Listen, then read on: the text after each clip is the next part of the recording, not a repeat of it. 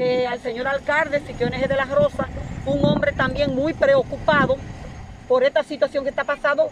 Supe que tienen una reunión hoy a las 4 de la tarde, que él le exija, porque fue un contrato que se firmó con el ayuntamiento. Eh, mi opinión es que en realidad yo no creía que esto estaba de esta manera.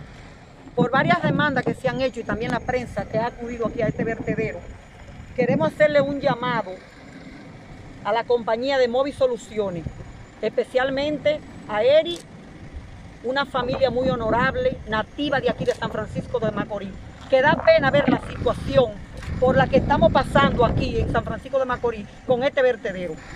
Porque no solamente es el vertedero, sino que desde la entrada hasta llegar al vertedero se ha convertido en un vertedero.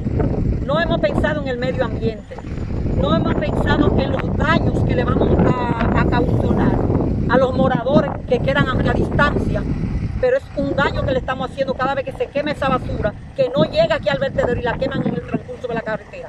Tenemos que pensar en esos animales que hay en diferentes cercas, donde son víctimas también, es decir, el medio ambiente ha sido afectado totalmente. Esto es algo que hay que hacerle ese llamado obligatoriamente a Eric Grisé y la compañía Móvil Soluciones un contrato que ha firmado el ayuntamiento con ellos, donde esto no debe manejarse de esta manera. Porque hay un contrato firmado que debe cumplirse con ese contrato. Por 10 años. Por 10 años. Un contrato por 10 años. Entonces no podemos esperar que acaben con el medio ambiente. Donde sea supervisada de que no haya un grano de basura